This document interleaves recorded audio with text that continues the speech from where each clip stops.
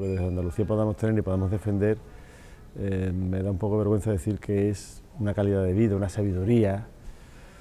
y entonces es una Andalucía, digamos que